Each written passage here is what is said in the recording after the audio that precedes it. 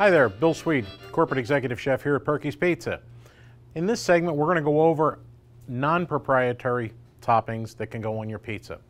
Everybody knows that there are as many possibilities for pizza toppings as there is imagination. Here are some of the critical ones that we see most often and that we've actually developed some specialty recipe pizzas that work with these, along with many of the hot oven grinder sandwiches that we offer also use these same toppings. So we get multiple uses out of certain toppings in the program. Let me start you off with just some of the basics.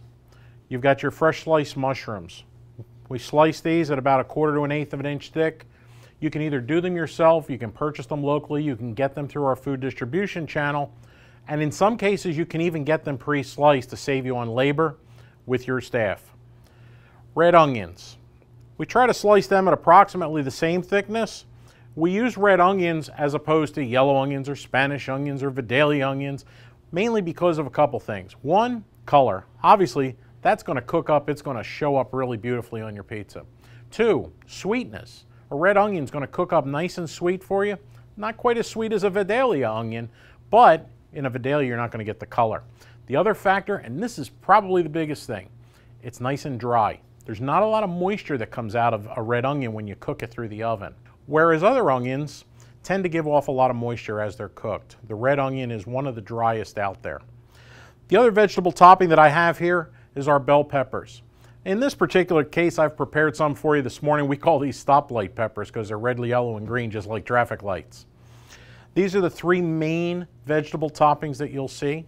Of course, you have things like olives and jalapenos and pineapple and things like that that come in cans or bottles that are very cost effective and quite popular in certain regions of the country. So don't look those uh, toppings and just say, hey, I don't need those. Listen to your customers. If there's a market for it, offer it. As far as meat toppings go, Italian meatballs. These meatballs are absolutely terrific. We typically on a pizza will quarter cut them and place them just like we do any other placement topping like pepperoni or sliced ham. Garlic marinated chicken.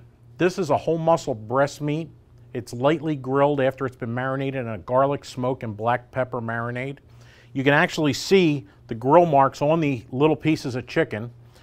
This is a terrific topping. We do a fabulous barbecue chicken pizza along with a few others. And again, this is one of the primary toppings that we integrate into our hot oven grinder program. The other topping here, I've got two little spots for it because, quite frankly, who doesn't love bacon?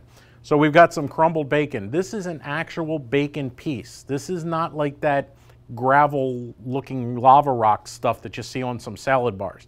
This is real bacon. We always put that on a pizza last.